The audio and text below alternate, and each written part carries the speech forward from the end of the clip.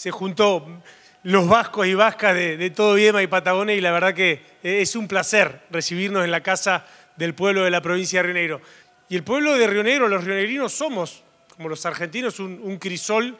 de, un montón de, razas, gringos, yo, mirica, croata, charlamos hace un ratito de, Roca, porque tiene parte de su historia de vida también en, el Valle. Este libro que orgullosamente la gente de, la legislatura colaboró con ustedes para, para que sea un elemento importante de este cumpleaños, de estos primeros 25 años de vida del Centro Vasco,